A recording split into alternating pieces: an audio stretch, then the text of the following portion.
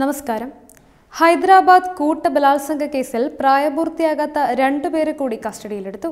ഇവരെ ചോദ്യം ചെയ്തതിനു ശേഷം അറസ്റ്റ് ചെയ്യുമെന്നാണ് പുറത്തുവരുന്ന വിവരം. ഇതോടെ കേസിൽ പങ്കുണ്ടെന്ന് കണ്ടെത്തിയ അഞ്ച് പ്രതികളും കസ്റ്റഡിയിലായി. ഇവരെ ജുവനൈൽ കോടതിയിൽ ഹാജരാക്കും.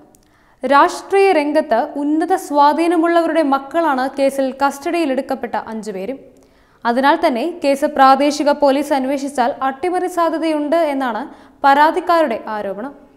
ഇതാവശ്യപ്പെട്ട് വ്യാപക പ്രതിഷേധമാണ് തെലങ്കാനയിൽ നടന്നുകൊണ്ടിരിക്കുന്നത്. പ്രായപൂർത്തിയാകാത്ത പെൺകുട്ടിയെ ക്രൂരമായി കാറിൽ വെച്ചവർ ബലാത്സംഗം ചെയ്യുകയായിരുന്നു. കൗൺസിലിംഗ് നൽകിയ ശേഷമാണ് പ്രതികളിൽ ഒരാളുടെയെങ്കിലും പേര് പെൺകുട്ടിക്ക് ഓർമ്മിക്കാനായത്. പ്രതികളുടെ പേര് പുറത്തു വന്നതോടെ രാഷ്ട്രീയ രംഗത്ത് ഉന്നത സ്വാധീനമുള്ളവരുടെ മക്കളാണ് കേസിൽ അകപ്പെട്ടിരിക്കുന്നതെന്ന് മനസ്സിലാക്കുകയായിരുന്നു.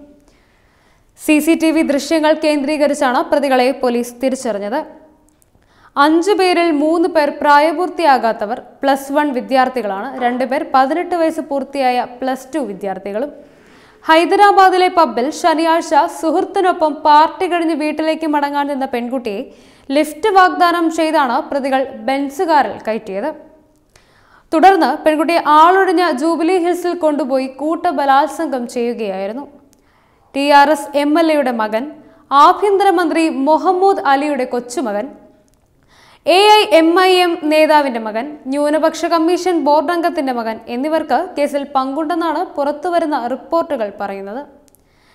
എന്നാൽ ഇക്കാര്യം പോലീസ് ഇതുവരെ സ്ഥിരീകരിച്ചിട്ടില്ല. കാരണകത്ത് നിന്നുള്ള A I M A M നേതാവിന്റെ മകന്റേത് എന്ന പേരിലുള്ള ചിത്രം B J P M L A Raghunandan Rao പുറത്തുവിട്ടിരുന്നു. അതുപോലെ തന്നെ T R S M L എയുടെ മകൻ പെൺകുട്ടിക്കൊപ്പം പോകുന്നതിന്റെ സി സി ടി വി ദൃശ്യങ്ങളും പുറത്തുവന്നു എന്നാൽ എം എൽ എയുടെ മകൻ വഴിമധ്യേ ഇറങ്ങിയെന്നും കൂട്ടബലാത്സംഗത്തിൽ ഉൾപ്പെട്ടിട്ടില്ല എന്നുമാണ് പോലീസ് നൽകുന്ന വിശദീകരണം. പെൺകുട്ടിയെ കൊണ്ടുപോയ ചുവന്ന ബെൻസ് കാർ നഹീൻ ഫാത്തിമ എന്നയാളുടെ പേരിലുള്ളതാണ്. ടി ആർ എസുമായി അടുത്ത ബന്ധമുള്ളയാളാണ് കാറുടമയായ നഹീൻ ഫാത്തിമ. ബെൻസിൽ ജൂബിലി ഹിൽസിൽ എത്തിച്ച പെൺകുട്ടിയെ മറ്റൊരു ഇന്നോവ കാറിൽ വെച്ചാണ് ബലാത്സംഗം ചെയ്തതെന്ന് പോലീസ് പറയുന്നു. പബ്ബിൽ വച്ചുള്ള പരിചയത്തെ തുടർന്നാണ് പെൺകുട്ടി ഇവരുടെ കൂടെ കാറിൽ കയറിപ്പോയത്. ദേഹമാസകലം മുറിവ് കണ്ടതിനെ തുടർന്ന് വീട്ടുകാർ വിവരം തേടിയപ്പോഴാണ് പീഡന വിവരം പുറത്തറിയുന്നത്. സംഭവത്തിൽ ദേശീയ ബാലാവകാശ കമ്മീഷൻ തെലങ്കാന സർക്കാരിനോട് വിശദീകരണം തേടിയിട്ടുണ്ട്. തെലങ്കാന ആഭ്യന്തരമന്ത്രിയുടെ രാജി ആവശ്യപ്പെട്ട് വ്യാപക പ്രതിഷേധം തുടരുകയാണ്. Web desk Tatwamayi news.